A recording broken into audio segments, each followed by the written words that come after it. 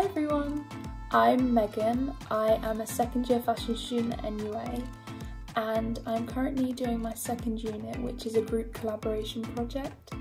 Um, we have been put into groups. Um, I am with three other people and we have all been assigned brands. Our group has been assigned Oliver Bonas and Oliver Bonas has sent us a brief. Our brief has basically stated that we have to create 15 garments in a capsule collection uh, for spring summer 2022 and we have to take into account the customer, the Oliver Bonas customer. We also have to look at key trends, so making sure that what we design will work and entice the customer. So during this unit we will have three meetings with our Oliver Bonas mentor Anne and um, during each meeting we will present her with the work that we've done so far, she will give us feedback, we can ask her questions. The final meeting will be our final presentation where we present to her our final 15 garments and hopefully she will like it. But yeah, I'm very excited. I'm going to take you with me on our journey through this project, um, through the research, the fabric and colour inspiration, um, to then garment and silhouette designs, to then actually finalising our final um, range plan. We are able to go in on Mondays and meet with our group, but apart from that, during the rest of the week, it's all been digital and online. So a lot of this will be just digital work that I will talk through with you.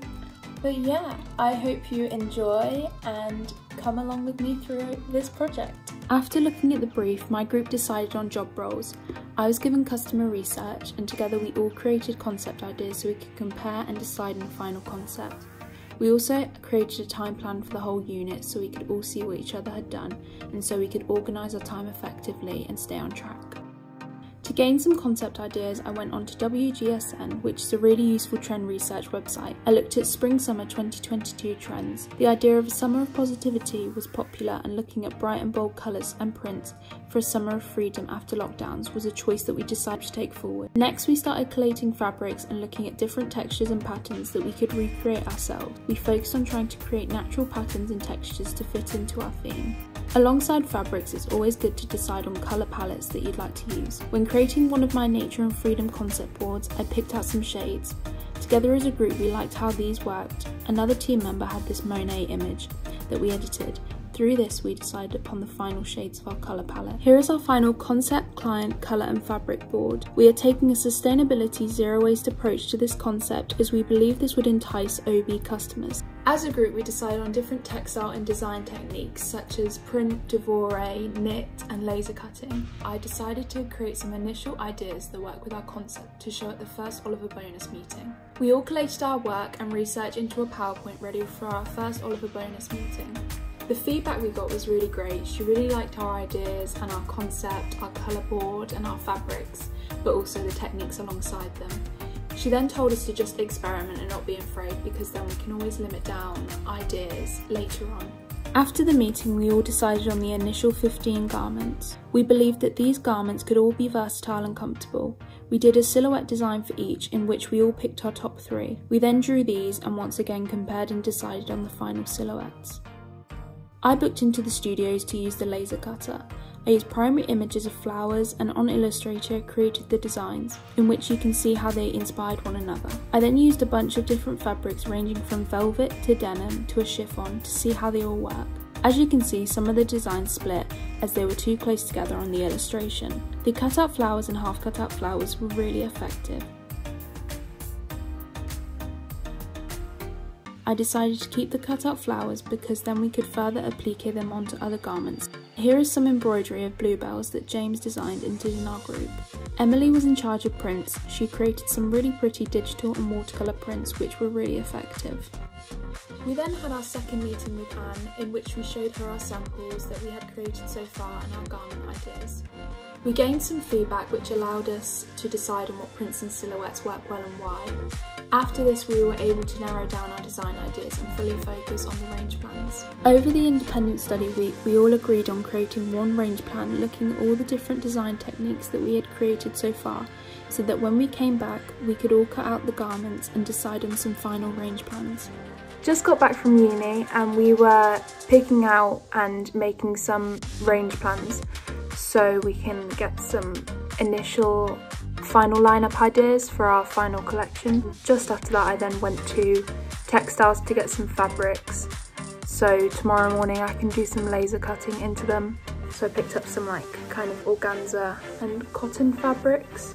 Tomorrow I'm going to be using the laser cut designs that I created on the fabrics that I just bought from textiles today and I'm also going to be using some of the laser cut designs with the prints that Emily in my group created and made, which look really pretty. So that's what I'm going to be doing tomorrow morning, which I will show you.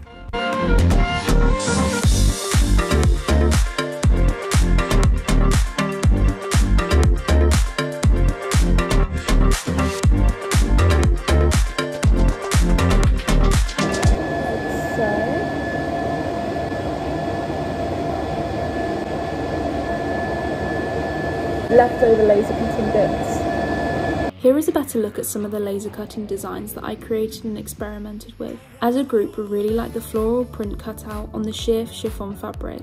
Here is also an idea on how the excess laser cutting pieces could work layered in a applique.